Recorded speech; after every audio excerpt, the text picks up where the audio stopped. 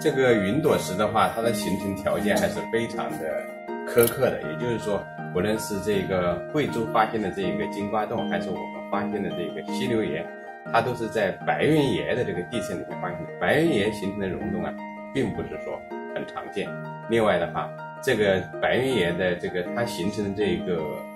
云朵石啊，在目前来讲还是谜，还是一个谜啊，科学之谜，所以还有待我们。进一步研究，因为它是在水下形成的，我们把这个洞穴测量的这个数据，在胃相已经进行这个重叠之后啊，发现它的开发的就是说便利性呢，洞内的这个便利性和洞外的交通的便利性能够有机的结合起来，所以的话，对于旅游开发来讲，这一点是非常具有它的优势。